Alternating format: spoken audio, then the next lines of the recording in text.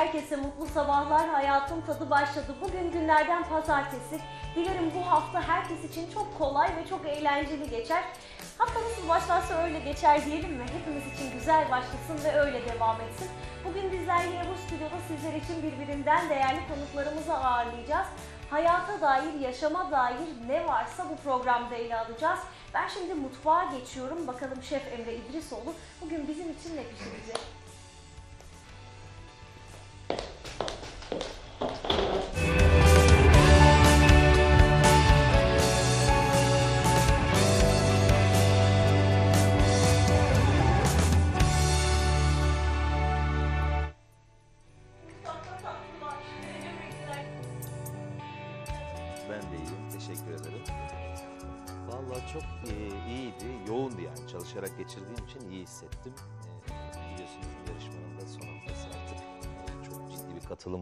Yarışmacı sayımız 250'yi geçti.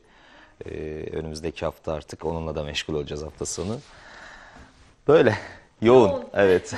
Ama hepimizin, hemen herkesin e, yoğun geçiyor öyle değil mi? Ya yoğun geçmesi daha e, iyi çünkü e, hem geride kalan günlerin yorgunluğunu atmış oluyoruz hem de e, kendi işimizle yoğunluğumuz bizi daha da motive ediyor diye düşünüyorum. Ben hani işkolik olduğum için böyle düşünüyorum. Senin için de biliyorum ki aynısı geçerli. Ben kaytarmayı seviyorum arada. ne yalan söyleyeyim. Bu hafta e, boyunca çölyak hastalarını e, mutfakta ağırlayacağız öyle diyeyim. Çölyak hastaları konumuz e, ve çağımızın çok ciddi bir rahatsızlığı. E, glutensiz tarifler yapacağız. E, pirinç unuyla, e, unla, yani glutensiz unla, badem unuyla, kestane unuyla e, vesaire tarifler, e, gluten e, free tarifler çölyak hastaları için e, bu haftaki konumuz. Çölyak biliyorsun çağımızın çok ciddi bir rahatsızlığı. Ee, dikkat edilmediği takdirde çok büyük sıkıntılar yaratıyor e, çölyak hastaları için. O yüzden e, nasıl günü geçiririz, nasıl aperatifler hazırlarız, e, nasıl besleniriz çölyak için? E, eminim ki bu hafta e, hocamız Mete Hoca da e, bu konuya değinir. E, bu tarifleri işlediğimiz için e, çok da güzel geçer diye düşünüyorum. Çok güzel Emre. Gerçekten e, çok iyi bir e, karar bu Önemli hafta. bir konu, Çünkü evet. e, biraz dikkat edilmesi gereken bir şey. Bir de çok fazla da bilmediğimiz bir şey nelere dikkat etmemiz gerektiğine dair. E, malzeme listesini ekrana verdik. Oldukça kalabalık bir e, liste. Neler Ya var aslında içinde? klasik bir kek yapacağız. Tarçınlı, e, kuş üzümlü klasik bir kek yapacağız. Üzerine file badem yine e, kıracağız pişirirken. E, yumurtanın, muzun, limon kabuğunun, e, yoğurdun, sıvı yağın olduğu klasik bir kek. Ancak e, unumuz glutensiz.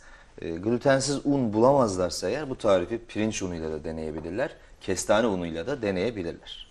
Zor değil mi onları bulmak? Yani glutensiz ürünler satan bir mağaza var Bursa'da. Ee, oradan temin edebilirler ama internette çok var. Ee, sipariş ettikleri zaman geliyor çünkü Güvenebilecek gerçekten miyiz internettekilere sence? çok bu sadece bu işi yapan markalar var. Yani Anladım. gluten çölyak hastaları için üretim yapan markalar var. Ee, onları takip ederlerse, oradan sipariş ederlerse çok daha sağlıklı olur. Zaten çölyak hastaları bunu araştırıyorlar, biliyorlar. Ee, çünkü çok ciddi bir Doğru. rahatsızlık gerçekten. Ee, Yeni bunun farkına varanlar için de dediğimiz geçerli internet sayfasından bulabilirler. Aslında çok güzel bir şey söyledin. Çölyak hastaları bunu biliyor. Evet yani bir şey başımıza gelmeden önce ne yazık ki bilmiyoruz. Ee, fakat maalesef. başımıza gelmeden önce de bilmek lazım. O bilinci oluşturmak lazım. Dikkat etmek, duyarlı olmak lazım. Ve belki de e, kendi sağlığımız için yani kendi sağlığımızı korumak için illa hasta olmayı beklememek lazım. Kesinlikle O yüzden öncesinden de dikkatli olmak ve tedbir almak çok iyi. Bugün ara ara döneceğiz sana. Tamam. Nasıl yapıyorsun bize anlatırsan Tabii ki. memnun oluruz efendim. Tabii ki. o zaman kolay gelsin Teşekkür ederim, sana. iyi yayınlar size. Sağ ol sana da. Hayatın tadı başladı.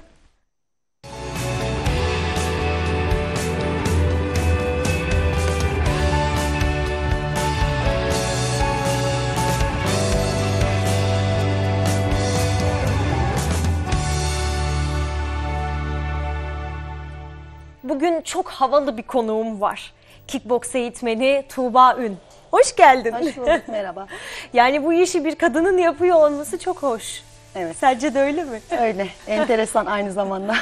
Biraz bahsetsene bize. Kickboks eğitmenliği yapıyorsun. Ne zamandır yapıyorsun? Nasıl başladın? O zaman İnsanlar sana demedi mi kızım nereden çıktı?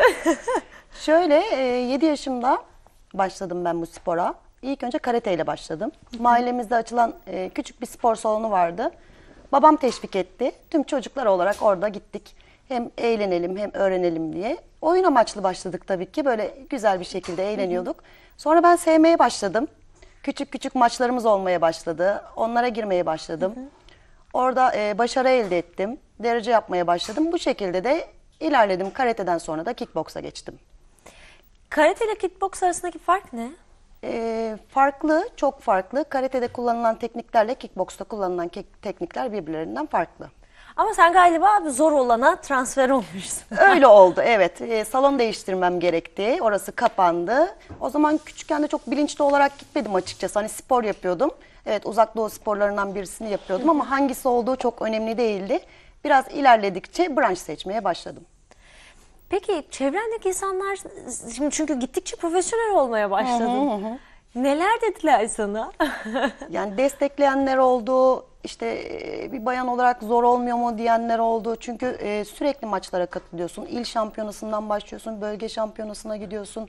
Oradan Türkiye şampiyonası, milli takım, yurt dışı. E, sürekli bir koşuşturma içerisindesin. Sürekli bir şeyler yapıyorsun ve bununla ilgili çok ağır antrenmanlar yapıyorsun. Arkadaşlarla yeri geliyor buluşmamız gerekiyor. Benim antrenmanım var ben gelemem diyorum. Bir program oluyor. Çok yakınımın düğünü oluyor, gitmem gereken yerler oluyor, E, gidemiyorum. Bu şekilde aman nereye kadar, her zaman gidiyorsun, bırak, ne gerek var? Bu şekilde tepkiler de aldım. Tabii ki çok destekleyen, çok başarılı bulan, e, beni bu konuda çok teşvik eden kişiler de oldu. Güzel yanları da oldu tabii ki. Kaç yıl oldu? Ben orayı kaçırdım galiba. Kickbox yapmaya başlayalı sen. Yani 7 yaşımda spora başladım, karate ile başladım. E, o zamanı da sayarsak şu an 31 yaşındayım. Çok uzun bir süre olmuş. Bayağı 23, uzun 24 bir süre evet. olmuş. Nasıl geçti o kocaman süre peki? Geçti. e, zor tarafları da oldu dediğim Yumruklarla. gibi. Evet hep tekmelerle, yumruklarla bu şekilde hep antrenman içerisinde, hep bir koşuşturma içerisinde geçti. Şimdi artık dersler de veriyorsun. Evet. Yeni gelenlere, öğrencilere, yaşı küçük çocuklara. Evet. Bu işi nasıl özetlersin, nasıl tanımlarsın? Önce ben onu merak ediyorum. Yani muhtemelen senin için çok başka bir yerdedir bu spor. Evet. Ama sen nasıl tanımlarsın bunu kendin için? Şimdi şöyle 5 yaşından itibaren e, çocuklarla başlıyoruz. Onun haricinde kendini sağlıklı hisseden herkes bu sporu yapabiliyor. O konuda hiçbir problem yok. E, herkesin yapması gereken bir spor olarak düşünüyorum. Tabii fiziği el verdikçe, yapmak Çünkü istedikçe. Çok öfkeliyiz galiba değil evet mi? evet Ee, öfkeli bir yapımız var. Stres atmak için e, birebir. Bunun için gelen birçok insan var, birçok üyem var. Sadece hani günün yorgunluğunu, stresini atayım. Şu kum torbasını hocam birkaç tane vurayım da rahatlayayım. Bazıları kum torbasını sevmediği insanlar, işte sorun yaşadığı insanlar yerine koyup da dövmek isteyen insanlar oluyor. Tarz şeyler Peki de işe yarıyor mu? Çok enteresan bir şekilde kum torbasını yumruklamak insanı rahatlatıyor mu? Yani elbette ki fiziksel olarak hareket etmenin e, ve bir yere kuvvetli bir şekilde basınç uygulamak insanı rahatlatır ama, Ama ruhsal olarak da rahatlatıyor öyle söyleyeyim. nasıl? Yani çok insanlar o enteresan. stresi atıyorlar. Ee, çok enteresan. Az çok içimizde bir şiddet var. Mutlaka ki e, bir şey var genel olarak baktığımızda. Öfkelendiğimiz zaman bir şeylere vurmak isteriz, parçalamak isteriz. Birçok insanda bu var. E, onu insanlara yapamadıkları zaman, zarar veremedikleri zaman karşılarına onu koyup bir kum torbasına vurduklarında rahatlıyorlar tabii ki. Siz kimi koyuyorsunuz kum torbasının karşısında? Ben valla kimseyi koymuyorum öyle diyeyim. Çünkü öyle uzun şeyim yıllardır. Çünkü hani ben onu e, spor olarak görüyorum, iş olarak, meslek olarak görüyorum. Teknik benim yaptığım şey orada teknikleri uygulamak. Peki Birisini öyleyse rahatsız oluyor musunuz birisinin bunu bir spor olarak görmesinden ziyade işte birilerini o kum torbasının yerine koyup hırsını atmak olarak görmesi e, sizin rahatsız Şimdi ediyor mu? şöyle, bu herkes- işin eğitmeni olarak. O amaçla gelmiyor zaten. Kickbox öğrenmek için geliyor. Kendini savunmayı öğrenmek için geliyor. Tabii ki e, geçip kum torbasının karşısında benim verdiğim teknikler dahilinde bir şeyler yapıyorlar. O yüzden çok rahatsız olmuyorum.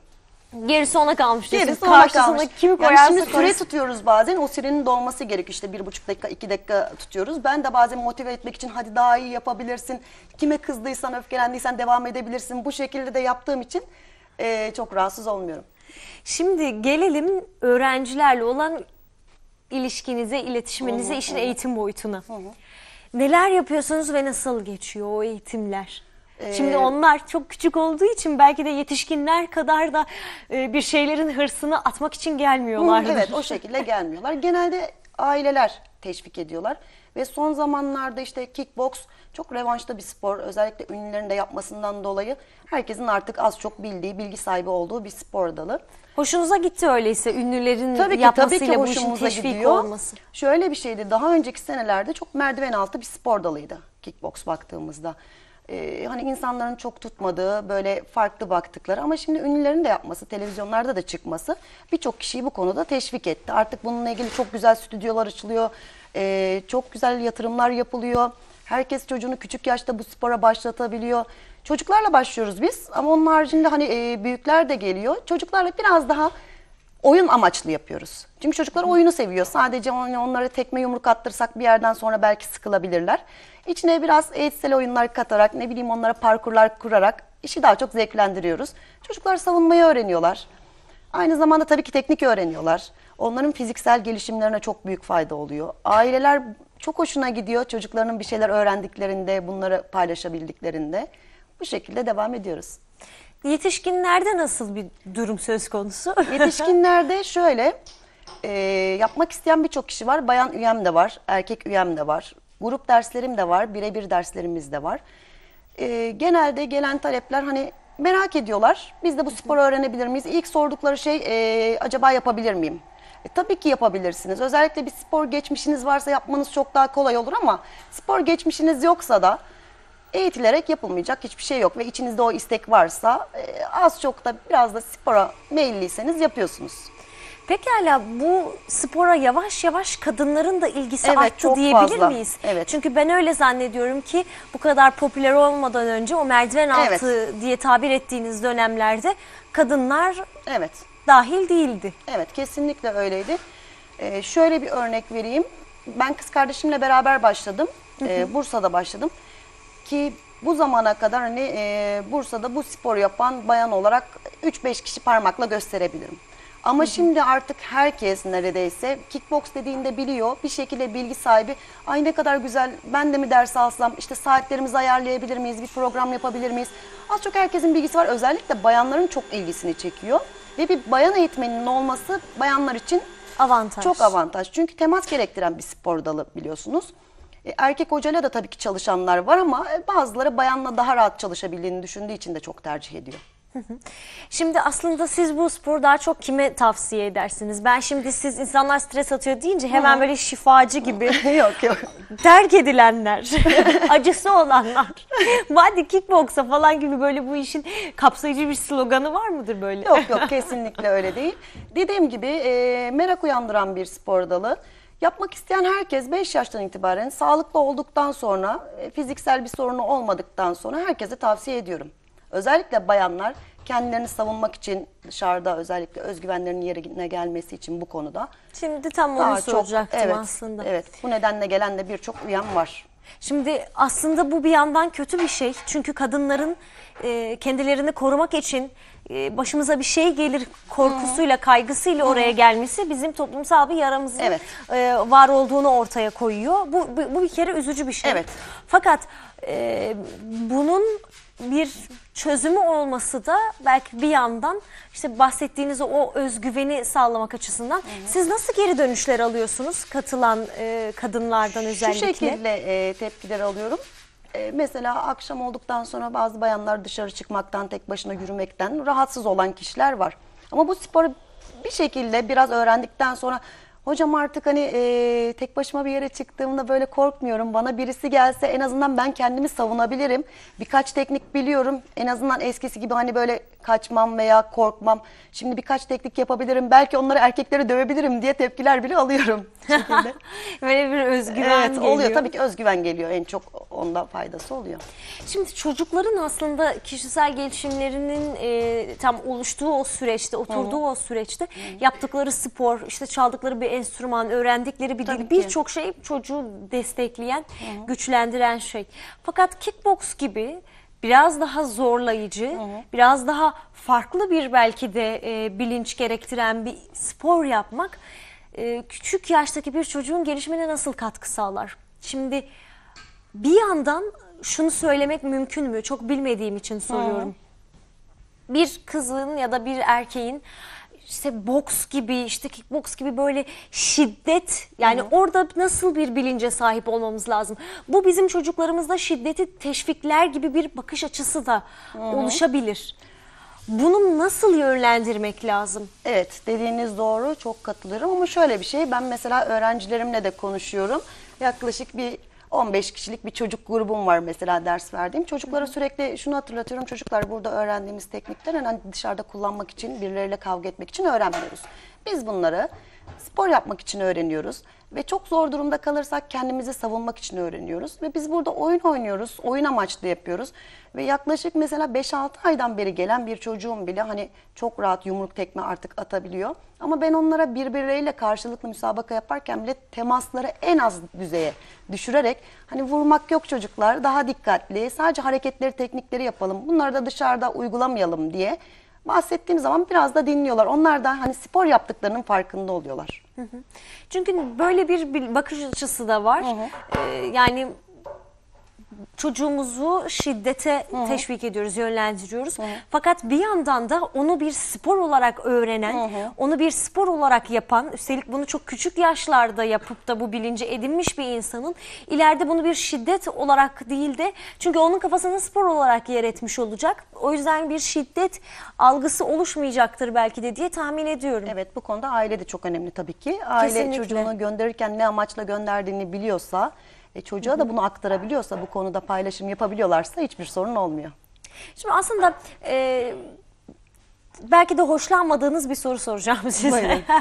Bu işi kadın olarak yapıyor olmanın bazı e, beraberinde getirdiği problemler var mı? İşte yumruk atınca tırnağımız kırılıyor gibi. Aslında şöyle bir üyemden bahsedeyim. Ee, özel ders almaya başladı. İlk geldi işte böyle tırnakları gayet uzun. Gayet hoş duruyor dışarıdan baktığında. Dedim ki "Ee, birkaç ders sonra eldiven takmaya başlayacağız. İlk önce temel teknikleri öğreniyoruz. Eldiven taktığında torbaya veya işte farklı bir şeye vurduğunda bu darbeleri atmaya başladığında o tırnakların kırılır. İstersen kısalt dedim. Şimdi artık e, kısa olarak kullanıyor. Böyle de hoş diyor. Hani çok kısa olmasına tabii ki gerek yok ama biraz uzun olduğunda tabii ki eldivenin içinde torbaya vuruyorsun, farklı şeyler yapıyorsun. Kırılmalar oluyor. Onun haricinde bu sporun e, getirdiği olumsuz şeyleri de hani e, bahsedelim. Çok büyük olumsuzlukları yok. Ufak tefek spor sakatlıkları dışında. Ki günlük hayatımızda bile yürürken ayağımızı burkabiliyoruz, başımıza herhangi bir şey geliyor. Eğer bilinçli bir şekilde yaparsak, e, ısınmalarımızı güzel yaparsak, tekniklerimizi doğru bir şekilde hani öğrenene kadar dinleyerek benim verdiğim hedefler doğrultusunda ilerlersek e, herhangi bir sakatlık olacağını zannetmiyorum. Çok güzel. Tekrar devam edeceğiz. Benim gözüm Emre'ye kaydı. Böyle keki dolduruyor galiba kalıbına doğru. Ne çabuk bitti. Yani hazırlık aşaması da çok kısa e, sürüyor Mevacım bu kekin. E, aslında bunu e, bizim buradan anlatmamız yeterli değil. Hemen yani bir sürü restoran var biliyorsun. Lütfen çölyak hastaları için menülerinde yer oluştursunlar. E, çok zorlanıyorlar bu hastalar. Yiyecek bir şey bulamıyorlar gerçekten. Özellikle çalışan çölyak hastaları için e, bu çok önemli. Çok böyle küçük e, glutensiz atıştırmalıklarla günü geçiriyorlar. Çünkü glutensiz bir şey yiyecekleri restoran maalesef sayısı sıfır denebilecek kadar yok. E, buradan onlara seslenmek istiyorum. Restoranlarında, menülerinde e, danışmanlık da alabilirler bu işi bilen şeflerden. E, çölyak hastalar için menülerinde bir sayfa açarlarsa çok daha iyi olur. Çok haklısın Emre. Şimdi kek bitti. Onu Evet. fırına atacaksın. Şimdi keki yaptım. E, klasik bir e, kek aslında bu. Sadece unu glutensiz. Önce yumurtayla şekeri çırptıktan sonra e, içerisine ben muz parçaları attım. Sıvı yağ e, ve yoğurdu da ekledim. Daha sonra kuş üzümü e, ile çırpmaya devam ettim. Ununu, kabartma tozunu koydum. Biraz da tarçınla tatlandırdım. E, limon kabuğu aroması da verdim. Üzerine e, şimdi onu fırına göndereceğim. Kek kalıbını da yağladım. Bir yarım saat kadar pişireceğiz. Daha sonra soğuttuktan sonra e, üzerini file bademle süsleyeceğiz, servis edeceğiz. Harikasın. Teşekkür ederim. Dikkat ediyor musunuz beslenmenize? Çünkü sporcusunuz. Evet, dikkat etmeye çalışıyorum. Zor oluyor olarak. mu? Yani e, alışkanlık diyelim artık çok zor olmuyor benim için.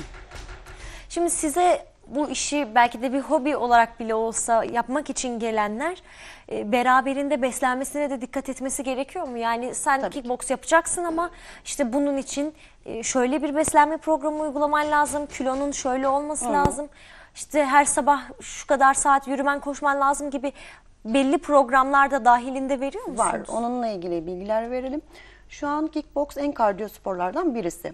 Ve birçok bayan özellikle kilo vermek için, daha fitleşmek için gelmek istiyor. Çünkü İlk- durduğu yerde bile sekiyor değil mi? evet. Yani böyle hareketi olmaz. geldiklerinde veya aradıklarında e, hocam hani kilo verebilir miyiz?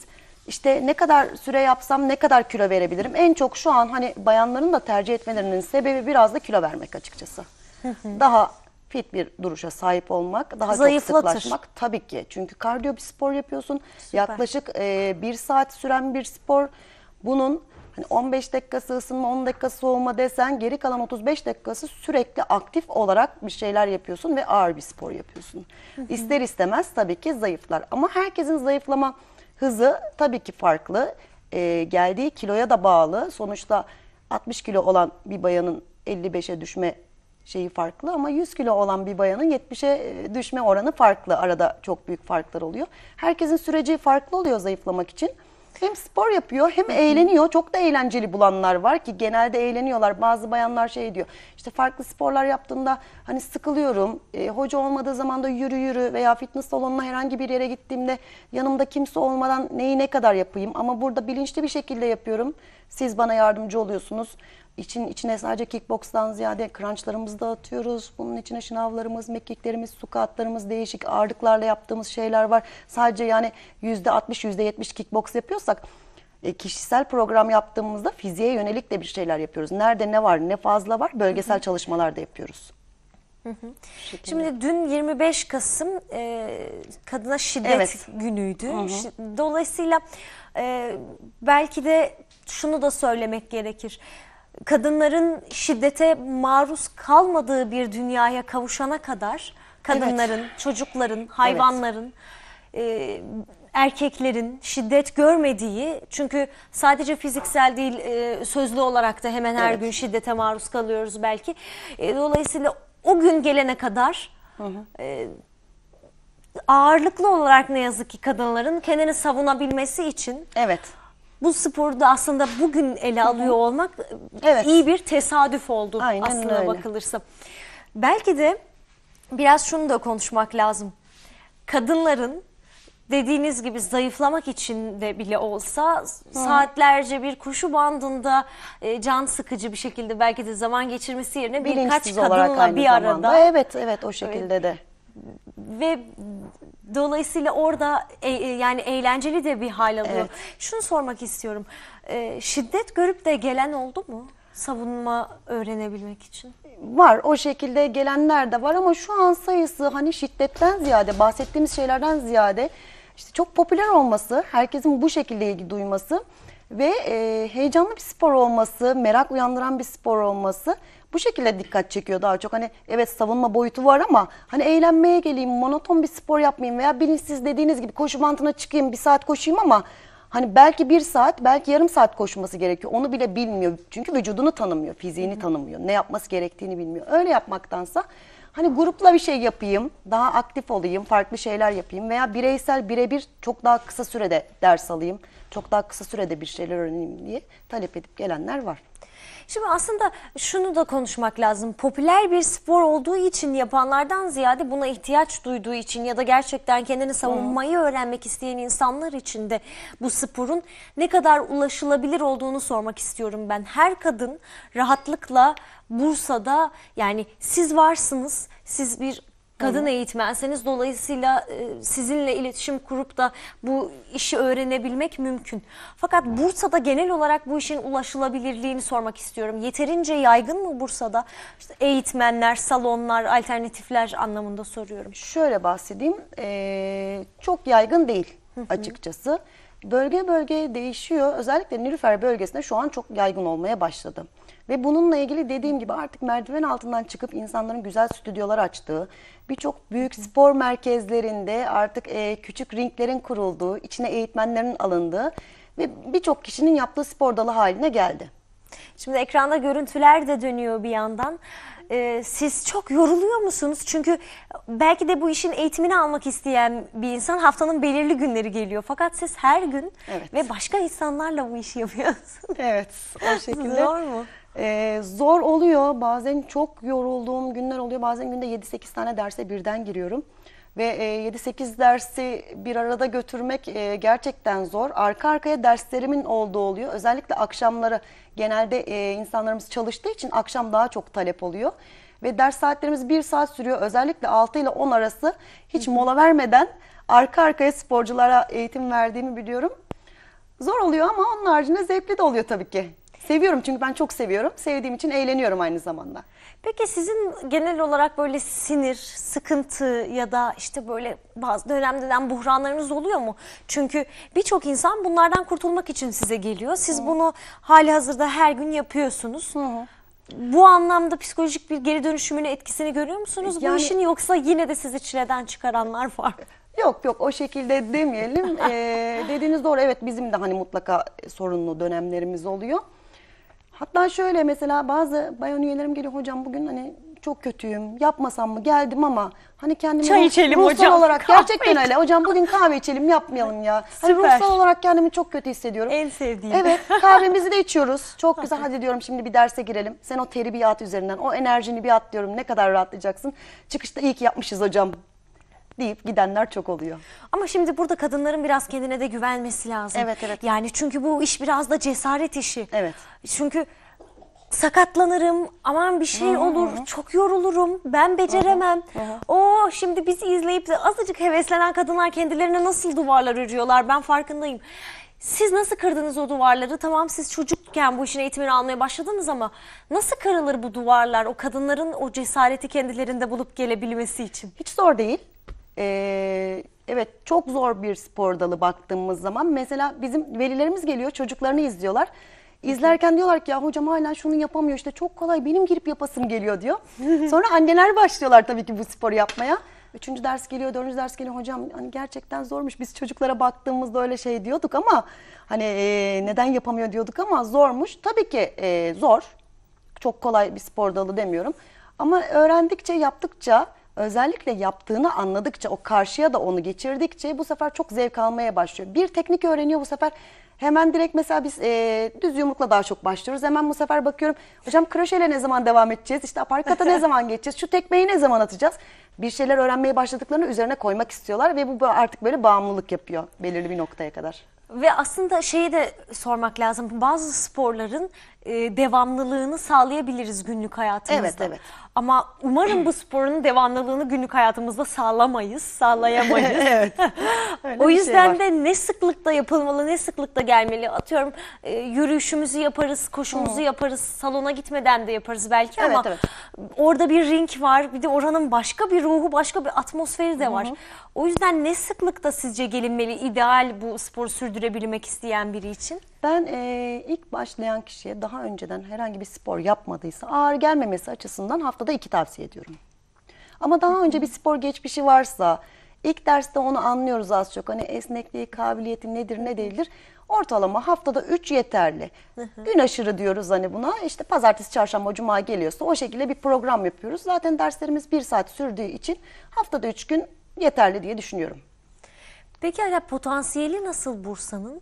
Yani Bursa'da bir bilinç oturmaya başladı ve iyiye doğru gidiyor Evet. diyebilir miyiz? Evet, artık Yoksa öyle oluyor. biraz daha konuşmak, biraz daha ünlülerden destek almak gerekecek mi? Aslında evet tabii ki e, ünlülerden destek almamız gerekiyor. Orada çıkan e, herhangi bir TV programında çıkan bununla ilgili maçlar oluyor, farklı şeyler oluyor. Görüp özenip gelenler de var. Bursa'da dediğim gibi özellikle şu 2, 3, 4 senedir artık herkes bilmeye başladı. Büyük spor salonlarında, bu spor merkezlerinde de olduğundan beri insanlar görüyor. Şöyle bir şey, e, ben bu stüdyoyu açalı bir 4-5 ay kadar bir zaman oldu. Biliyorsunuz ki ilk bir iş yaptığınızda hani e, tutturmak biraz zordur, o tutturmak biraz zordur ama Allah'a şükür şu an çok güzel gidiyor. Herkes duyuyor. Bir de şöyle bir şey hani gelip memnun kalan kişi arkadaşına da tavsiye ediyor. Böyle de bir şey var. O ona söylüyor, o ona söylüyor. Bir şekilde reklam oluyor. İnternetten bir şeyler görüp de e, gelenler oluyor. Şu an iyi durumda diyebilirim. Şimdi bir sorum daha var.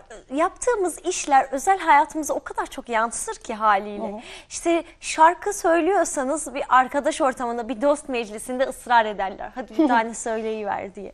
ya da işte e, psikologsanız hemen böyle dertlerini anlatır arkadaşlar. Doktorsanız orası burası ağrıyan arkadaşlarınız gelir size. Yani stres Evet. atmak için aslında sosyal bir ortamda eğlenmek için oradasınızdır ama böyle böyle güzellikleri olur hayatın. Bunlar güzelliklerdir çünkü. Size karşı nasıl bir e, sizde yansıması ne bunun çok merak ediyorum. Düşünün oturuyorsunuz arkadaşlarınızla eğlenceli bir akşam geçiriyorsunuz. Bir şey olmaz ya yanımızda Tuğba var biz rahatız Sürekli, bir evet. bakış açısı vardır Sürekli e, böyle şeyler oluyor.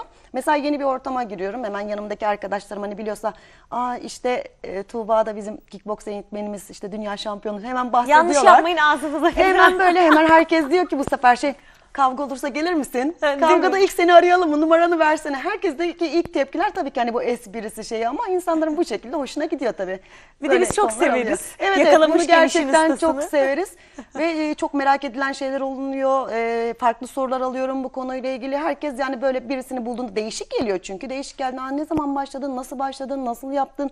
Kaç senedir yapıyorsun? Nerelere gittin? Hangi derecelerin var? Bir başlıyoruz artık muhabbete. E, Hangi dereceleriniz var? Güzel soru.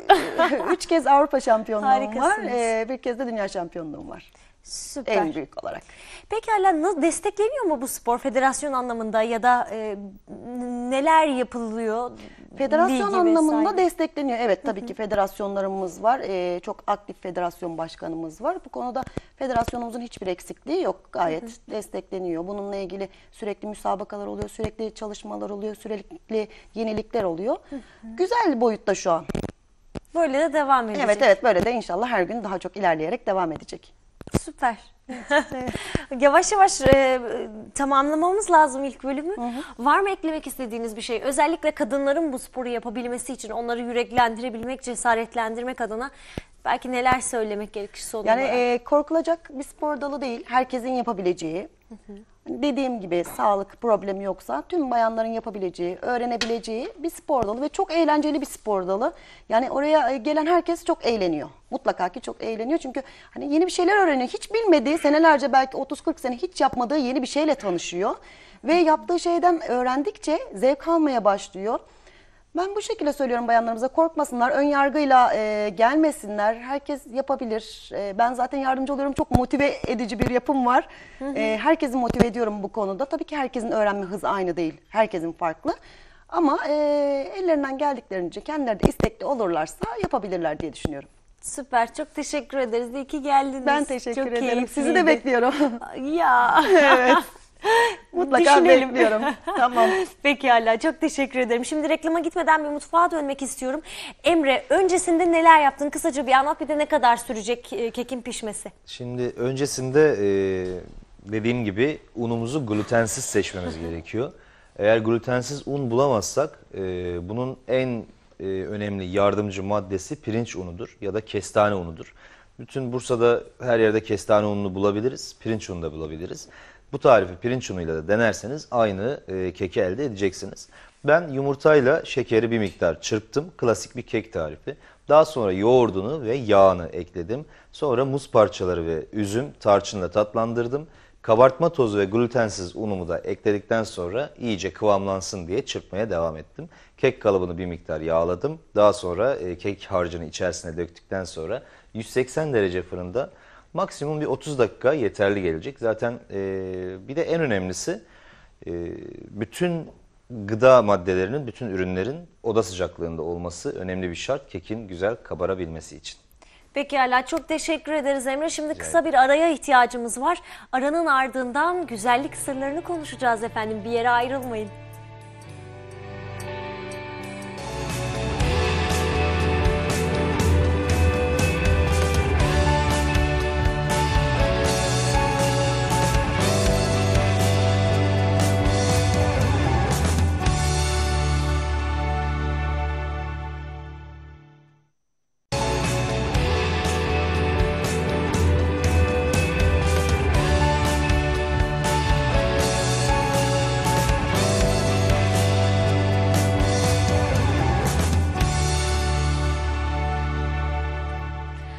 Hayatın tadına devam ediyoruz. Güzellik sırlarını konuşacağız dedik. Bugün programımızın ikinci yarısında medikal kozmetolog. Oh söyledim doğru bir şekilde. Deniz Demirpençe. Hocam Evet. hoş geldiniz. Hoş bulduk, merhabalar. Çok fantastik bir titriniz var.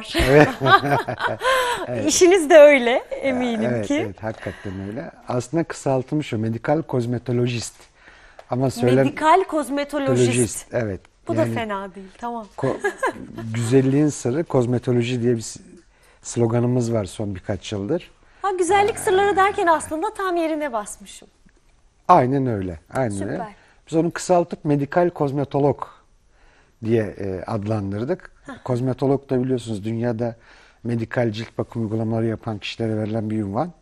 Ondan sonra bu da zorlanıyor. Artık bakacağız. Daha da kısaltabiliriz belki ileride. Yani. Kısaca güzelleştirici falan Evet, da olabilir evet, hocam. evet, evet. Kozmetoloji Bilimiz- olmadan güzellik Evet. yok. Yani, Öyle mi sahiden? gerçekten öyle. Doğallık, doğal güzellik falan hepsini öldürdük mü? Yok hepsi oradan geçiyor. Yani oradan. doğallık da kozmetolojiden geçiyor. Doğal güzellik de oradan geçiyor. İşte uzun süre cildi korumak da oradan geçiyor. Yani işin ana mutfağı şey kozmetoloji. Nedir peki bu ve neleri kapsar? Şöyle biraz e, bilgi almak amacıyla bir giriş yapsanız siz Tamam. genel sonra devam ederiz. Tamam, ee, şöyle diyelim kozmetoloji demek e, ayak tırnağınızdan saçınızın teline kadar her alanda bakım ve uygulama e, yapılan bilim dalı demek. Bunun içerisinde yüzde doksan organik yani bitkisel kök hücrelerden e, organik bakımlarla beraber dediğim gibi vücudun her alanda bakım yapabildiğimiz bir bilim dalı bu. Bu bilim dalını okuyup bitirenlere de MD unvanı veriliyor. Medikal e, skincare kozmetoloji diye yurt dışında. Türkiye'de e, eğitim yok çok fazla bunun ondan sonra. İşte kozmetologlar da bu alanda medikal cilt gençleştirme uzmanı olarak hizmet veriyorlar dünyada öyle diyelim.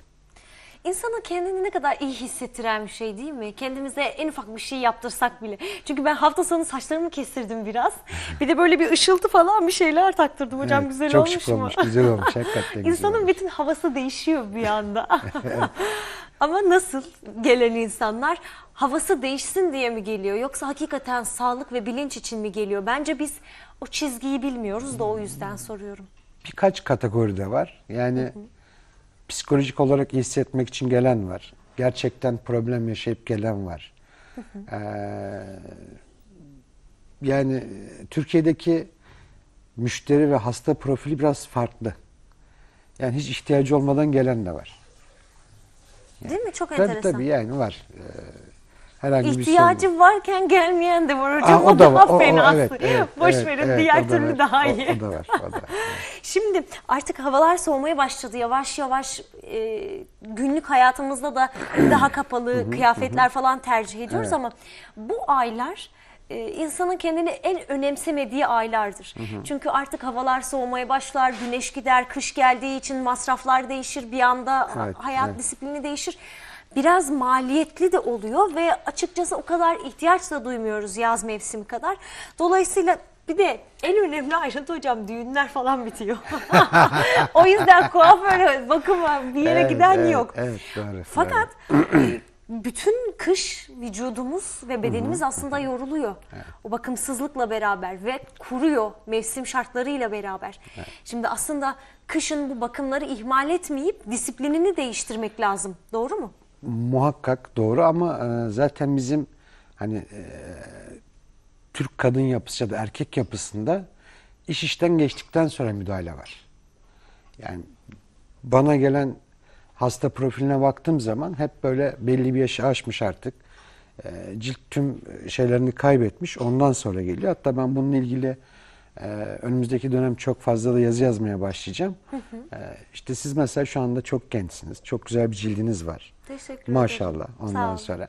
Şimdi bu yaşlarda Ama doğal hocam. Azıcık Yok, makyaj yok, var. Yok yok. Evet, evet. Teşekkürler Evet, olun. Rica ederim. Şimdi bu yaşlarda başlayıp da e, ileriki yaşlara doğru düzenli bir bakım uygulamalarla gidersek zaten cildin yaşlanma olasılığı sıfır.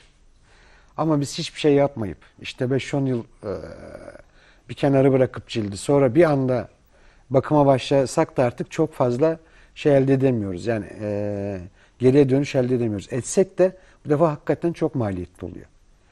Yani bu defa insan diyor o hocam bu çok para değilmiş de ya da çok masraflı değil mi gibisinden ama ben diyorum 20 yıl hiçbir şey yapmamışsın ki diyorum ne yapabilirim yani. Değil mi? Tabii, yani tabii. 20 yılda bu kadar olmuş. Üstelik siz onu bir 20 yıl kadar değil daha az bir sürede tahmin etmek Tabii tabii yani bir, bir de öyle bir etken var. Yani insanlar 20 yıl boyunca hiçbir şey yapmayıp size gelip mesela hemen yani işte bir saatlik bir işlemle 10 yıl geriye gitmek istiyor ama böyle bir şey yok tabii yani. Mucizevi dokunuş olur öyle bir şey olsa. Klasik bir cümle vardır. Yani e, çok da gerçektir. bir sivilce yeter. Evet. Şimdi hal böyle olunca e, neler yapmak lazım, nelere dikkat etmek lazım bu da geliyor gündeme. Şimdi ne sıklıkta cildimizin bakımını yaptırmak lazım? Yani ne, ne sıklıkta derken e, eğer bir güzel bir merkeze gidiyorsak, iyi bir uzmana cilt bakımı yaptırıyorsak zaten uzman o cilt bakımının protokolünü oluşturacaktır. Yani sizin ayda bir mi ihtiyacınız var, 3 ayda bir mi ihtiyacınız var. Ya ben genellikle e, 60 ile 90 gün arasında tavsiye ediyorum. Yani 3 ayda bir muhakkak bir bakım yapılması lazım. Zaten bu da yılda 4 defa yapıyor. Ee, bizim için en ideal olan o aslında. Çünkü dört mevsim yaşıyoruz biz Türkiye olarak. Her mevsim uygun bakımlar yapılırsa ciltte çok fazla sorun yaşanmaz ama e, sizin gibi işte çok fazla böyle hani e, işte ışıklarla e, makyajla çok fazla iç içeyse o zaman ayda bir düzenli bakım yapmak lazım. Hiç yapmıyorsak hocam. Hiç yapmıyorsak Nırınının. e, o, o zaman şimdi e, dün e, yaptığım bir sohbeti söyleyeyim size. Yine bir bayan e, hastam daha genç. E, hocam dedi ben dedi bir anda dedi yüzüm dedi lekelerle doldu dedi. Ay. Dedim bir anda dolmaz. Ben önce bir hikayesini dinledim ondan sonra. Anlattı. E, cilt altı lekeleri aslında mesela bugünden oluşmaya başlar. E, ama 3-5 yıl sonra bir anda çıkar. Ve o bir anda da siz mesela diyelim o an güneşe gitti, denize gittiniz ve güneşlendiniz. Bir 15 dakika. E, o 15 dakikada bir hasar oluşur orada ama 5 yılın birikimi 15 dakikada çıkar. Ve siz bir anda yüzünüz simsiyah olabilir yani. Lekeler her, her taraf kaplayabilir. Suç güneşte de değil. Vallahi bu son zamanlarda hocam suçu da güneşe atıyorlar. Değil. Değil D tabii vitaminini zararlı hale getirdiler Hayır, söylene hayır, hayır. söylene. Değil, değil, değil. Ama dediğiniz gibi biz o yılların birikimi kısmını atlıyoruz değil Tabii mi? tabii yani ciltteki hiçbir lekelenme bir anda oluşmaz. Yani siz bir anda işte solaryuma girdiniz ya da gidip de bir anda güneşin altında uyuyakaldınız diye cilt lekelenmez. O muhakkak altında bir 5-10 yıllık bir hasar kaydı vardır onun yani. O 5-10 yılın birikimi bir anda çıkar. Ondan sonra işte e, uğraşırız onu bir şekilde tedavi etmeye çalışırız. Buradaki ana etken de şu yani ben bunu daha önceki birkaç programda da anlattım. Biz koruyucu kremler kullanmıyoruz. Kullansak da neyin doğru, neyin yanlış olduğunu bilmiyoruz krem konusunda. Güneş gözlüğü kullanma alışkanlığımız hiç yok. Ondan sonra neden güneş gözlüğü denir? Lüks gibi algılanıyor değil mi hocam? Yani- Fantastik bir ara- araç olarak. E, evet yani e, ben şimdi yaz kış takarım. Ben e, tüm herkese tavsiye ediyorum. Yani aslında güneş gözlüğü dememek lazım. Koruyucu gözlük demek lazım.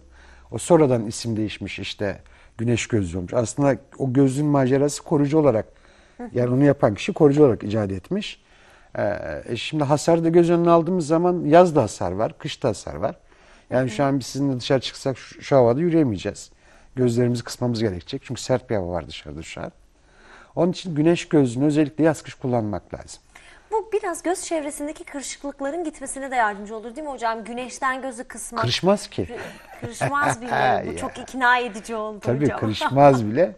Süper. Bir de artık o, o kadar çok çeşitlilik var ki hani gözlük anlamında.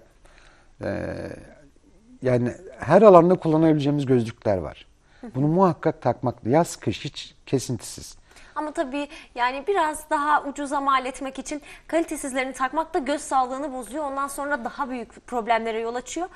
Mümkün olduğunca iyisini Tabii almak o, lazım. o anlamda da bunu da söylüyorum tabii. Tabii. Gidip de çarşıda pazardan almayın. Sonuçta bunları satan optisyenler var, e, uzmanlar var. Gidip orada göz sağlığımızı bozmayacak gözlükler almak lazım. Ee, onları kullanmak lazım. Yani bir 100 lira tasarruf için sonra Yok, tabii, Allah tabii, korusun tabii. ameliyat masrafı çıkıyor Tabii, tabii, göz yüzünden. tabii. Onu da böyle hazır yeri gelmişken söyleyelim Tabii, hocam. söylemekte Çünkü biz fayda onu var. bir aksesuar olarak kullandığımız için o Evet. yüzden de ucuzunu almak daha mantıklı tabii. geliyor. Bu, bu Tabii. konuya değindiğiniz çok iyi oldu. Tabii orada hem göz sağlığımız önemli, hem cilt sağlığımız önemli, hem kaz ayaklarımız önemli. Değil yani mi? tabii hepsi önemli yani onun için. Ne- neden oluşur bu kaz ayakları? Güneş gözlüğü kullanmak hafifletiyor. Hafifletiyor. Ama mesela şu da etkili olur mu? Aynı saatte yatıp aynı saatte kalkmak. Şimdi şu şöyle bir bilgi var elimde. Düzenli olarak aynı saatte yatıp aynı saatte kalkmak biz fibromiyalji hastalarının e, kas ağrılarını hafifletiyor. Yani vücudumuzdaki o eklem ağrıları, kas ağrıları hafifliyor. Düzenli aynı saatte yatıp aynı saatte kalkmak. Cildimizi de daha çok dinlendirir mi dengesiz bir e, uyku düzenindense? Kaz ayaklarında etkili olur mu demek mümkün mü? Yok yani çok fazla Yemedi. değil. Yani değil. Pekala Da- hocam. daha çok mimiklere bağlı. Yani biz mimik çok kullanıyoruz. Ben de çok kullanıyorum ondan sonra. Yani mimikler işte dediğim gibi dış etkenler, iç etkenler. Ondan sonra bu- bunlar yani. Kaçılmaz Bol olarak. su tüketmiyoruz biz. Bol çay tüketiyoruz. Bol çay Bol tüketiyoruz. kahve tüketiyoruz. Daha fena değil mi Evet, hocam? Evet, ben de öyleyim. Ben de öyleyim. Yani e, elimden geldiğince su içmeye çalışıyorum. Günde işte bir litre, bir buçuk litre kadar ama e, arada bir o kadar da çay kahve tüketiyorum yani. Ve içtiğimiz çayların su yerine geçtiğini sanıyoruz ama aslında öyle bir Değil, şey de değil. yok. Tabii, onu da tabii, onu da tabii. düzeltmek Tabii, lazım. değil. Şimdi yüzümüz kadar aslında bütün vücudumuzu taşıyan, bütün bedenimizi taşıyan ayaklarımız da çok önemli. Evet, evet. Belki de vücudumuzdaki birçok yerin ağrısı e, o vücudumuzu taşımak zorunda Tabii ki. kalan ayaklarımızın Tabii ki, e, tabii. yorgunluğuyla Evet, alakalı. Fakat belki de yüzümüzü önemsediğimiz kadar ayaklarımızı önemsemiyoruz. Yüzümüzü hiç önemsemiyoruz. Ayakların vay haline Size çok teşekkür ederim. Çok önemli bir konuya ayak bastınız. Ayak bastınız. Ayak bastınız. Harika. Ben bu konuyla ilgili özel bir üniversitede öğretim görevlisiyim. Ee, ders veriyorum ayrıca haftada bir gün. Çok Ondan iyi. sonra farklı alanlarda da ders veriyorum. Çok iyi. Ee, ayağımızı hiç önemsemiyoruz. Yani ben ayak sağlığı ile ilgili hizmet veriyorum ondan sonra. Ee, gelen e, hasta profiline bakıyorum. Yani yüzde 95'i sanki ayaklar onun değilmiş gibi davranıyor. Değil mi hocam? Tabii hiç acımasızca. Özellikle mesela bayanlara tavsiyem e, yaz ya da kış aylarda lütfen şu naylon çorapları çok uzun süreli giymesinler. Çok uzun süreli giydikleri zaman ayak terliyor, ondan sonra e, ayakta farklı rahatsızlıklara sebep veriyor. Yani mümkün olduğunca ayağı hava aldırtmak lazım. Ne önerirsiniz? Bu ince kadın çorabından bahsediyorsunuz değil Evet, mi hocam? evet, Ama ona alternatif ne giyecek kadınlar? Çünkü en çok o giyiliyor. O, o giyiliyor ama yani şimdi ben e, gelen yaş profiline bakıyorum mesela. Yani ge- gün boyu giyilecek bir çorap değil ama yani hani soruyorum. Ben çünkü e, hiçbir işlem yani gelen tüm hastalarım uygulama yapmadan önce hikayelerini muhakkak dinliyorum. Yani gün boyu e, hatta gece e, 11-12'ye kadar o çorapları çıkartmayan bayanlarımız var. Ay evet. E düşünün siz şimdi yani kafanıza bir naylon poşet geçirip bağlasanız ne olur? Siz aynısını ayaklarınıza yapıyorsunuz. Şimdi ayak demek e, vücutta ne varsa tüm sinir noktalarınız, tüm organlarınız bunların tamamının basınç noktaları ayaklarınızda da var. Yani siz aslında ayağınıza kötü davrandığınızda bütün bedeninize kötü davranıyorsunuz. Sadece sizi taşımakla kalmıyor. Yani ben şurada e, belki ayağınıza 5 dakika bir refleksoloji masajı uygulasam diyeceksiniz ki ben bütün yılın yorgunluğunu attım. Değil mi? E tabii çünkü orada böbreğe dokunacağız, beyne dokunacağız, bağırsaklara dokunacağız, her noktaya Dinlemesi dokunacağız. bile iyi geldi hocam. Yani. Evet. E, yani onun için e, ayaklara çok iyi bakmak lazım ve ayak bakım alışkanlığı edinmek lazım. Bununla ilgili artık medikal ayak bakım uygulamaları var. Ama burada işin sırrı medikal boyutu değil mi hocam? Tabii tabii medikal boyut. Medikal boyutu. Normal yani normal bakım uygulamaları evet yani geçmişe nazaran çok fazla yapılıyordu ama artık dünya terk etti bunları. Kullanmıyor. Ee, bugün dünyada artık medikal ayak bakım uygulamaları kullanılıyor. Nedir hocam bu medikal ayak bakımı uygulamaları? Neleri kapsıyor ayak bakımını? Yani siz medikal ayak bakım dediğimiz zaman e, sağlıklı bir ayağın bakımından tutun da işte hastalıklı bir ayağa kadar işte batık tırnak olsun, mantar olsun, nasır olsun bunları e, tedavi edip onarımına kadar tüm alana biz medikal bakım diyoruz. Hem sizinki gibi sağlıklı bir ayakta e, eski işlemlere göre e, yani isim telaffuz etmeyeceğim ondan sonra e, eski işlemleri yapmaktansa yeni işlemlerde artık bunların cihazları var. Özel ba- bakım aletleri var. İşte ne yapıyoruz mesela? Oradaki işte bir takım etleri makasla kesmiyoruz da e, frezlerle temizliyoruz. Ayak tabanlarını frezlerle temizliyoruz. Bunları işte yardımcı solüsyonlarla yapıyoruz. Bu da normal eski yöntemlere göre 10 kat daha verimli. Daha sağlıklı. Çok Yani doğru. biz hem orayı e, bakım yapmış oluruz hem tedavi yapmış oluyoruz. Pekala hocam gelelim işin en önemli boyutuna.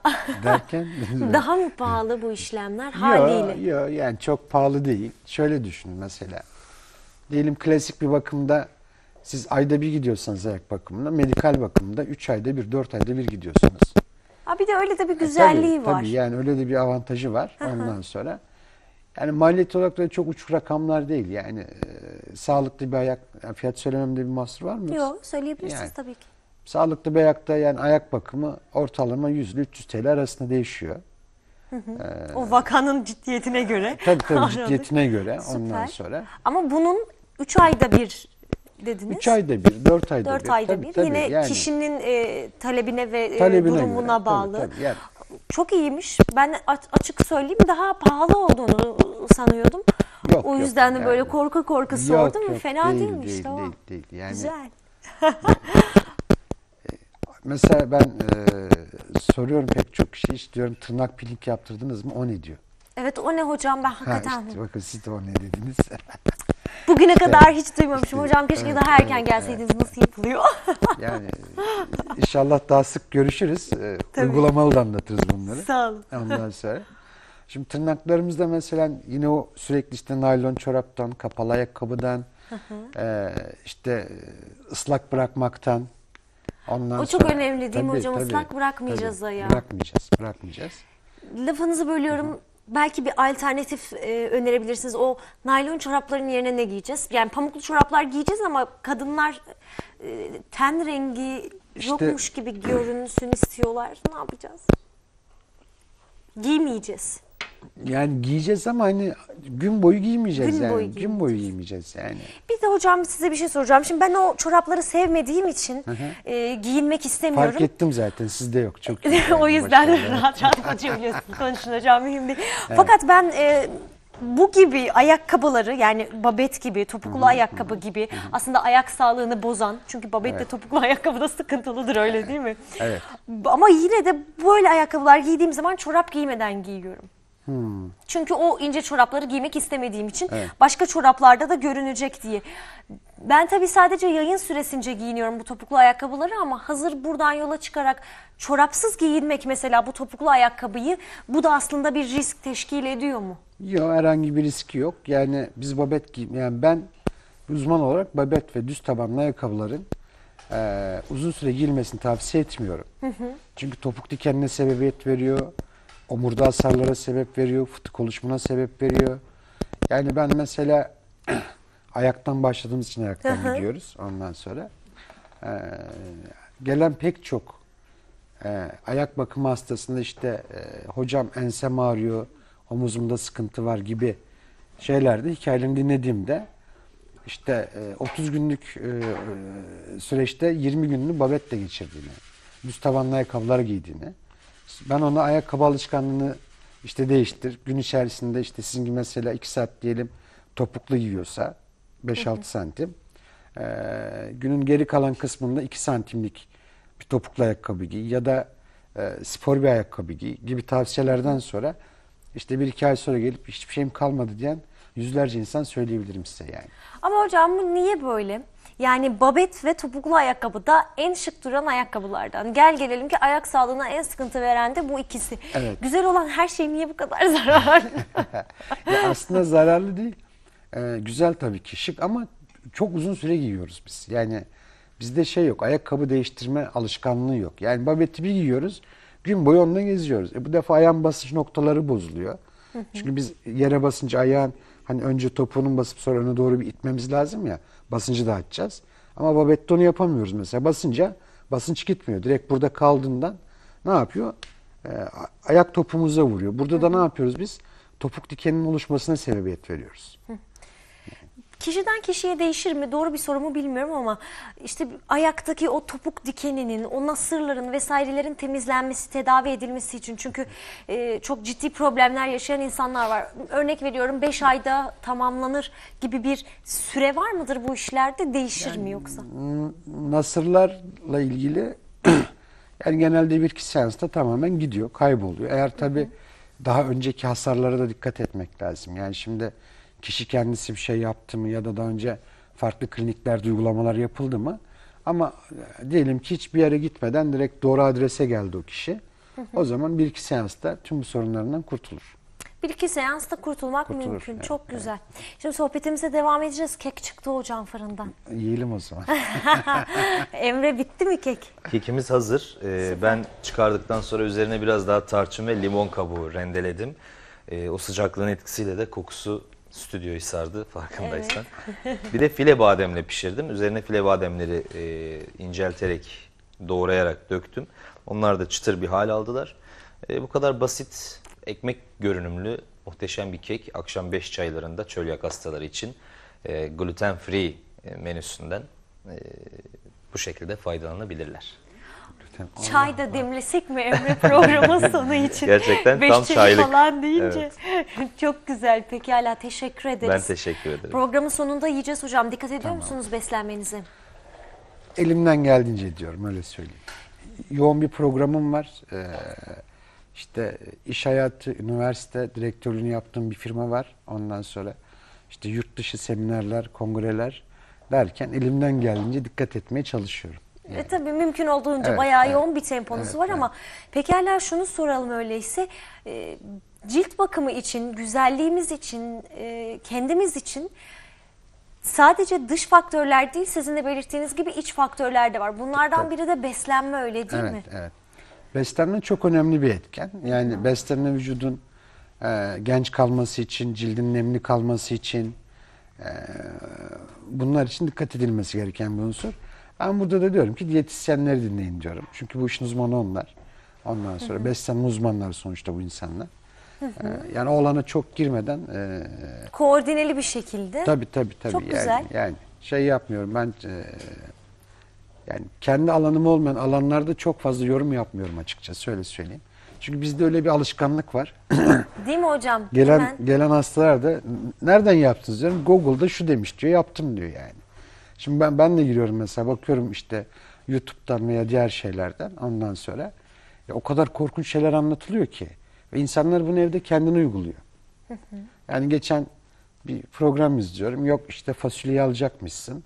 içine karbonat atacakmışsın. Onu yapacakmışsın. Ama Ee, en sevdiğimiz şey hocam o bizim yani. Bayılırız. Şunu şunla karıştır şuna. Bunu da bununla Ama ben- birleştir. Bu da buna çok iyi Tamam. gelir. A- Bayılırız. İşte o zaman e, şefe müracaat etmek lazım. Onları karıştırıp yemek lazım yani. Doğru. Cilde sürmemek lazım.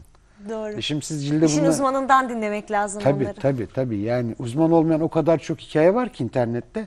Ve insanlar samimiyetimle söylüyorum bunları uyguluyor. Yapıyorlar. Sonra da geliyorlar hocam ne yapacağız? Cildim bu hale geldi. Ne yaptın? Hepsinin altına böyle bir hikaye var. İşte şunu yaptım. Evde cildim buhara tuttum. Nasıl tuttum buhara diyorum. İşte e, kettle'da suyu kaynattım. Tut. E sen cilde haşladın. Buhara tutmadın ki. Hocam onu ben de yaptım. O zaman Ay yapmıyoruz. çok fena. Yapmıyoruz. Ama nasıl tabii. yaptım? Ee, hem gözenekler için hem de rahatsızlanmıştım. Burnum tıkanmıştı. Ee, nefes alıp vermekte güçlük çekiyordum. Kaynattığım suyu bir kabın içine koyup yüzümü oraya tuttum. Buhar açsın diye. Hem cildimi hem burnumu, nefesimi. Yani o, o zor durumlarda yapılabilir nefesiniz açılsın diye ama onda da hani böyle e, kettle'a değil de e, daha geniş bir tencerede Leğen, bulaşık leğenine doldurup ha, ben. yani okey. Tamam o zaman sorun yok. E, nefes açmak için ama cilt için değil. Cilt için değil. O da zorunlu olduğumuz zamanlarda yapmak lazım onu. Yani cilde bu tür işlemler yapmamak lazım. Yani. Ben bunu her platformda anlatıyorum arkadaş. Diyorum ki lütfen cildinize iyi davranın. Doğru. Yani cilde bal süren, cilde kahve süren, işte cildine yok çay iç, e, çayın posasını suratına sür vesaire. Yani Hocam o- onların hepsi iyi gelir diyorlar. Yapmayacağız mı? Yani şimdi eee, Mesela bal sürmek dudakları dolgunlaştırırmış. Doğru mudur? Bir rivayet böyle söyler. ne değişecek bal sürünce? Ben her sabah yiyorum onun için dolgun acaba. Sürmek öyle diyorlar. Yok, Ama yok. tabii şimdi hazır siz buradayken hangisinin doğru hangisinin yanlış olduğunu da öğrenelim. Tabii yani Çünkü dediğim ben- gibi biz çok severiz öyle şeyler yapmayı. Yani aslında bunlar mesela hani baktığınız zaman e, işte bana da çok soru geliyor. "E, Hocam evde ne yapacağız? Ya aslında evde yapılabilecek yani cilde uygulama anlamında çok fazla bir şey yok. Yani sizin oradaki gözeneği kapatmak için yani ne buharınız bir işe yarar ne de evde sürdüğünüz bal bir işe yarar. Yani bunu girişimsel uygulamalarla yapmak lazım. E, o da uzmanlık gerektiriyor. Doğru. Yani ben çok fazla bir konuda tavsiyede bulunmuyorum. Hatta işte YouTube'da falan video paylaştığım zaman altına da not düşüyorum. Hani sorumluluk kişiye aittir diye. Videolarımı izleyip de sakın evde kendinize ya da uzman dahi olsanız tavsiye içermez diyorum. Çünkü herkesin cildi aynı değil hocam değil, mi? Biz onu tabii, unutuyoruz. Tabii. Ya, bu, bunu da bakın çok güzel bir yere geldi. Bunu da anlatıyorum. Şimdi işte yağlı cilt olsun, kuru ciltler olsun. Mesela ku- kuru ciltleri e, ele alırsak. e, Şimdi Ben de biraz kuru ciltliyim de hocam. Aslında kendime torpil geçiyorum. Hep böyle kuru ciltlerden sorular soruyorum. ben de okey, faydalı. Okey, çok iyi. Şimdi e, beş tane kuru cilt gelse önüme. İnanın beşine yapacağım bakım uygulaması da farklı olur. Değil mi? Tabii standart olmaz yani. Çünkü kişinin e, yaş aralığı, beslenme alışkanlığı, daha önce cildine nasıl kötü davranıp davranmadığı bunların hepsi bir etkendir. Doğru. Ona göre o hikayeyi dinleyip ondan sonra ona göre bir uygulama yaparım. Ki kişi e, uygulamanın sonunda mutlu olsun. E, ama işte izliyorsunuz orada. Yani inanın siz yüzünüze bal sürdünüz mü hiç mesela? Yok sürmedim. Ama süren binlerce insan var. Doğrudur.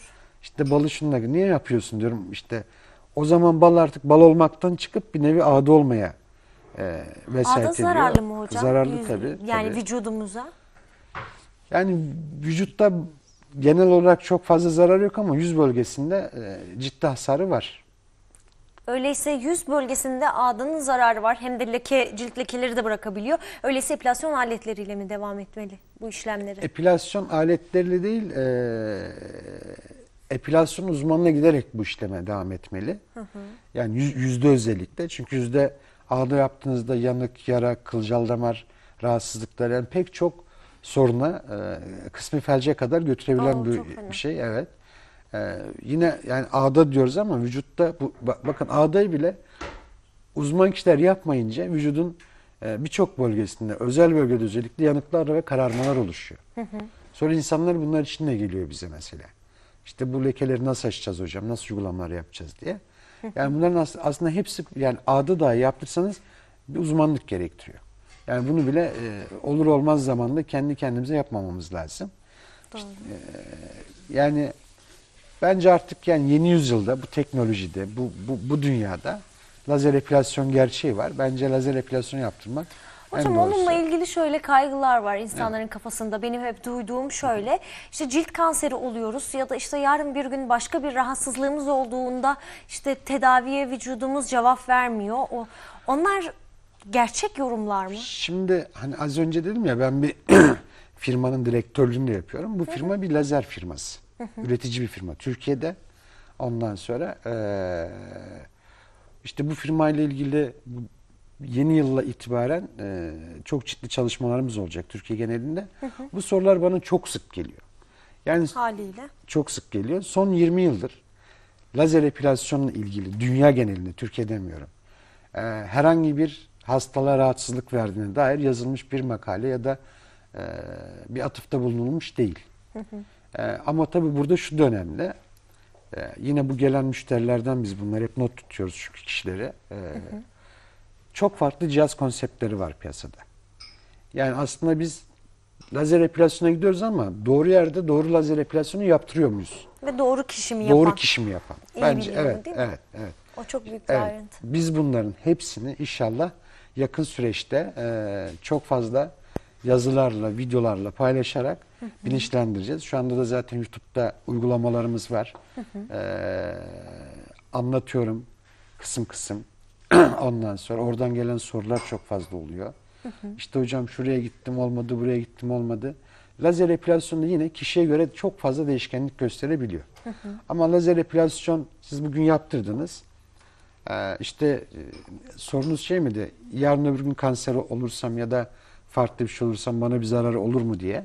Yani hem öyle söyleyenler var hem cilt kanseri yapar diyenler var. Hem işte hormonları değiştiriyor, bozuyor vesaire. Tabii bunların hepsi böyle kulaktan kulağa dolaşan bilgiler. Hangisi gerçek, hangisi Ş- yalan? şehir efsaneleri bunlar. Öyle mi? yani t- tabii yani sizde hani kan, tö- yani olmasın da hani bir insanda kanser varsa e, belki sebep olur. Ona her şey sebep olabilir. Tabii Ama- yediğimiz içtiğimiz de Tabii sebep her oluyor. şey her şey sebep olabilir. Artık hani günümüz dünyasında içtiğimiz sigara kadar domates de tehlikeli. Çünkü her şey hormonları bozulmuş vaziyette. Genetiği bozulmuş vaziyette. Ondan sonra ee, yani dediğim gibi son 20 yılı aşkındır uygulanan bir yöntem. Dünya genelinde yani lazerden dolayı bugüne kadar e, herhangi bir kişinin kanser olduğu ya da farklı bir hastalığa yakalandığı tespit edilebilmiş değil. Zaten lazer epilasyon öncesi muhakkak bir e, onan formu vardır. Eğer iyi bir yere gidiyorsanız, iyi bir uzmanla görüşüyorsanız uzman size tüm bu soruları sorar zaten. Yani sizin daha önce bir tedavi gördünüz mü? Hormonal bozukluğunuz var mı? İşte ailenizde kanserle ilgili tedavi gören var mı gibi vesaire. Tüm bunları sorar. Bu soruların sonucunda size lazer epilasyon yapıp yapmayacağına uzman karar verir. Yani. Mesela dün bir e, uzmanımız bana e, WhatsApp'tan yazmıştı. İşte hocam bir hastam geldi. Atom tedavisi görmüş. Ben buna lazer epilasyon yapabilir miyim? Ya da tedavi bittikten sonra yapabilir miyim? Hayır katiyen yapamazsın dedim. Bittikten sonra da yapamazsın dedim. Yani bu şekilde tabii kişinin hikayesini dinlemek lazım. Yoksa çat kapı geldim ben epilasyon yaptıracağım. Ver parayı hadi yapalım olmaması lazım. Evet, belki de piyasada bu şekilde dönen e, sistemden dolayı da insanların kafasında böyle bir korku var. E, dolayısıyla bunların da tabii zamanla geliştikçe ya da işte doğru yerde doğru insanları, doğru Evet, uzmanları evet, buldukça evet, bu evet, işler çözülecek meseleler.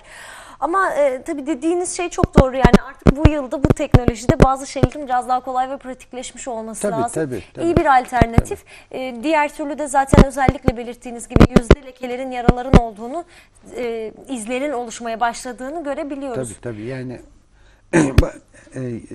şimdi biz bununla ilgili de mesela bu önümüzdeki süreçte Türkiye genelinde birkaç bölgede yani Doğu Anadolu'da işte Marmara'da Ege'de belli kongreler düzenleyeceğiz. Burada hekim arkadaşlara bu işi yapan e, güzellik uzmanlarına ve pek çok bu alanda faaliyet gösteren kişilere e, hem eğitim seminerleri vereceğiz hem doğru uygulama eğitimleri vereceğiz.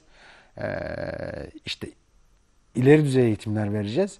Yani bu, bu, bu alanda çok ciddi bir boşluk var ve bir karmaşa var. Yani e, muhakkak bunun düzeltilmesi gerekiyor.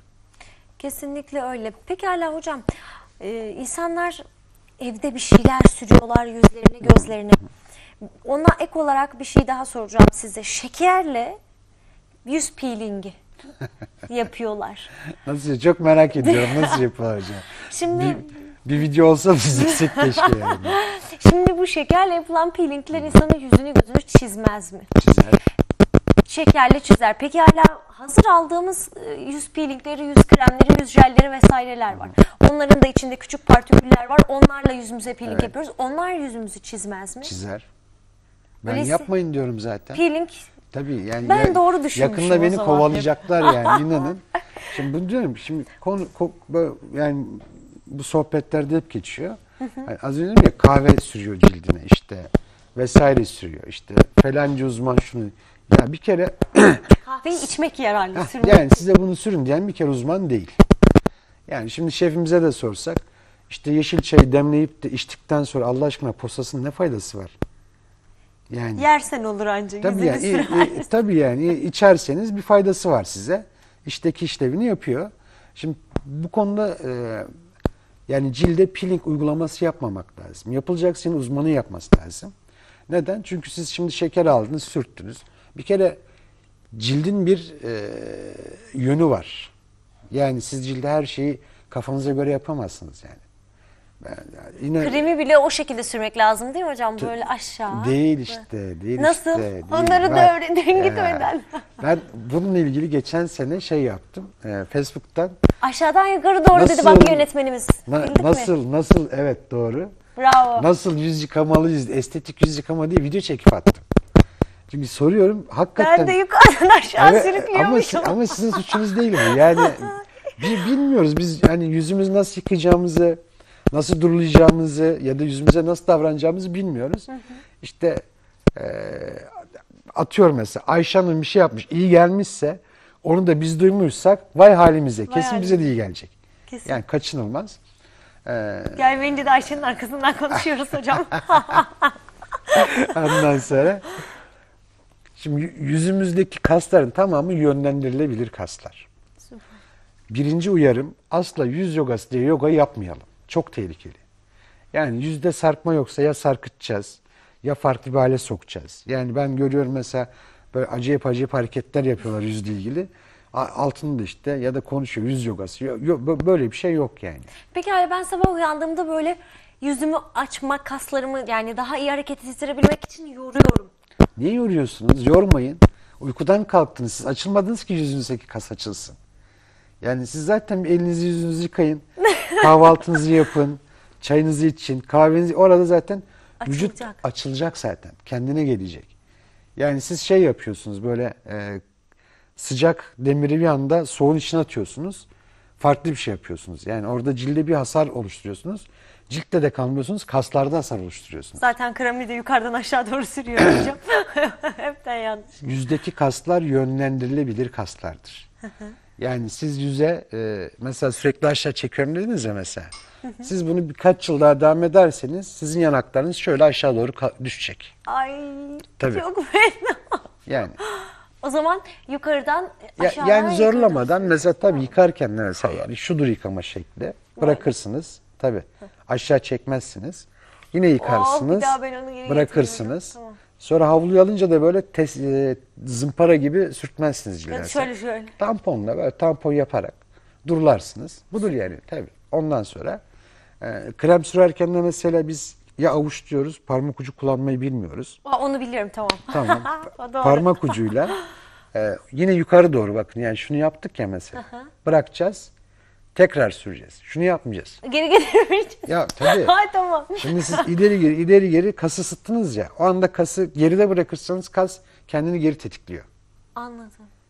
Yukarıda bırakacağız ki kendini yukarı tetiklesin. Tabii tabii yani şu, şunu Süper. süreceğiz. Tabii şöyle süreceğiz Tamam. bu şekilde. Yani hep yukarı doğru hareket edeceğiz ama bunu da sürekli yapmayacağız. Yani Nedir sıklığı, aralığı? Yani kremi sürdük iş bitti o kadar tamam yani ondan sonra böyle Gerdirip gerdirip durmayacağız. durmayacağız yani. A- Alışkanlık haline getirmeyeceğiz. bunu yaparsak da işte sabah yüz yıkarken bir masaj gibi düşünün. Hafif çünkü dokunarak gideceğiz ya. Evet. Zaten cilt bir masaj yapmış olacağız. o bahsettiğiniz hani e, Açılmayı gevşe- açılmayı sağlayacak. sağlayacağız. Ondan sonra krem sürerken de yaptık. Tamam. Bir de akşam temizliği var bunun. Cilt temizleyeceğiz.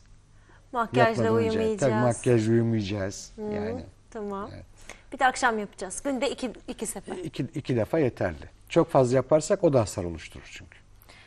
Şimdi bir de buna ek böyle haftalık peelingler. Peeling de yapmıyoruz. Ya pi- peelingi muhakkak hakikaten uzmanın yapması lazım. Yani şimdi siz şekeri aldınız. Şimdi ciltte mesela soydunuz değil mi mesela? Ne ne soyuyorsunuz burada mesela şu an? Bence çiziliyor yani. Ben onu hep düşünmüştüm. İşte onu tutturmuş çiziyorsunuz. Orada e, yine bunu da tüm programlarda anlatıyorum. Yani üst tabakadan anlaşılır bir dille söylüyorum. Yani Latince cümleler kurmak istemiyorum. En alt tabakaya kadar hasar oluşturuyorsunuz.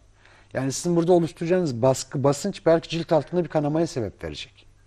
Siz bilmiyorsunuz. Ondan sonra yüzünüz gözünüz şişecek. Ya da orada işte e, bir anda e, kılcal damarları bozacaksınız. Kan akışını bozacaksınız. Ya da hiç sivilce çıkmayan yüzünüzde sivilceler çıkmaya başlayacak. Ay hocam o sivilce meselesini hatırlatmışken bu sivilcelerle başımız dertte. Yani şimdi şöyle e, ergenlik döneminde çıkan sivilceler bazı insanların geçmiyor. Çok yoğun çıktığı zaman.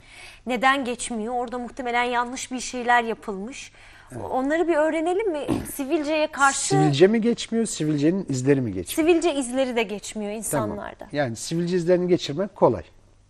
Yani Geçiyor. Onu, tabii onlar geçer. Yani Sivilceler? onunla ilgili lazerli uygulamalar var, dermapen uygulamaları var. Süper. Yine altını çiziyorum uzmanların yapması lazım. Ondan sonra e, bu tür uygulamalar yapıldığı zaman şey olur. E, sivilce izleri geçer. Sivilcelerin geçmeme sebebinde e, en büyük etken cildin nefes almaması. Yine e, nasıl ayaklarımızdaki o naylon çoraplardan ayaklarımız beter hale geliyorsa yüzümüzde de e, makyaj olsun, diğer unsurlar olsun cilt nefes almadan da irit oluyor. İrit olunca da sivilce üretiyor. Aslında sivilce üretmiyor da. Toksinleri atamadığı için sivilce üretiyor. Yani cildin muhakkak nefes alması lazım. Bununla ilgili dediğim gibi düzenli bir cilt bakım uygulamaları yapılırsa, medikal cilt bakım uygulamaları yapılırsa cilt belli aralıklarla nefes alacağı için ve bir düzene gireceği için sivilcelenme yapmaz. Pekala kadınlardan ziyade artık yavaş yavaş erkeklerde de böyle bir bilinç oluştu mu hocam? Çok fazla. Çünkü değil mi böyle bir furya Tabii, başladı tabii, yani var, var. kadınlar bıraktı bakımı erkekler başladı. Daha bakımlı diyebiliriz. Daha bakımlı olmaya Daha başladı. bakımlı diyebiliriz evet. Niye böyle oldu? Bir onlar da artık güzel ol yani güzel gözükmek istiyor. Değil mi hocam güzel ya kim çıkardı? istiyor. Kadın bir güzellik objesi. Kadın güzel olacak, şık olacak, artık topuklu ayakkabıların de- üzerinde yürüyecek. Erkeklerde de hiç Giydireceğiz erkekleri de topuklu ayakkabı giydireceğiz. Konuyu kapatacağız yani. Değil Yani. mi? Ben o kadar sitem ettim ki konu buraya geldi. evet, evet. Yani fena değil. Evet. Yani güzel olmak, bakımlı olmak sadece bir kadınlık Aslında güzel değil. demeyelim de yani güzel farklı bir kavram. Bana Doğru göre tüm kadınlar güzeldir. Bence bakımlı olma kavramı. Teşekkür ediyorum Rica hocam ederim. Evet, Çok güzel bir yere evet, değindiniz. yani. Konuşurken çünkü öyle bir bilinçle konuşmuyoruz. Höt höt höt konuşuyoruz aslında. Tabii. Kelimeleri biraz daha dikkatli seçmek lazım. Her kadın güzel, her her erkek Muhakkak. yakışıklı. Tabii, çünkü bu tabii. da çok göreceli de bir kavram yani. Bu işin bir matematiği de yok. Yok. E, Dolayısıyla bunun net bir kuralı da yok. Bu tamamen e, biraz Sizle alakalı aslında. Yani siz Evet. aynaya baktığınız zaman yani siz atıyorum eee Brad Pitt de olsanız ya da başka biri de olsanız siz kendinizi iyi hissettiğiniz anda zaten vücut onu yansıtıyor. Biz buna vücut dili diyoruz. Evet. Yani ben eee, hani dıştan bakıldığı zaman mesela bir bayan için ya da bir erkek için çirkin denilebilecek insanların o kadar çok çekici yanları var ki. Yani vücut dillerini kullandıkları zaman, yansıttıkları zaman. Onun için ben e, şeye katılmıyorum. Yani e, güzellik çok farklı bir kavram. E, Bence bakımlı olmak lazım. E, Bakımlı artık çok önemli. Neden? Çünkü Türk insanının artık yaş yani ortalama ömrü çok uzadı. Yani artık 60'lı yaşlar, 65'li yaşlar bile sağlıklı olan yaşlar. Ve aslında olunması gereken yaşlar. Evet, evet. Yani ortalama yaşta şu anda Türkiye'de herhalde 75'in üzerinde seyrediyor. E şimdi siz düşünün bu bedeni, bu yüzü, bu ayakları, bu vücudu 80 yaşına kadar kullanmanız lazım. Bakımsız gidersek nasıl kullanacağız? Kullanamayacağız. O zaman bakımlı olmamız gerekiyor. Bir de bazı kadınlar e, ne yazık ki evi mesela dip köşe temizlenir o ev. Ev o kadar önemlidir ki evin bakımı yapılır, temizliği yapılır, silinip süpürülür. Fakat kendimize gelince Evet. işte belki de o söylediğiniz gibi o sabah akşam o yüzü yıkayıp e, doğru bir şekilde kremi sürüp hava almasını sağlamak bile belki hak getire.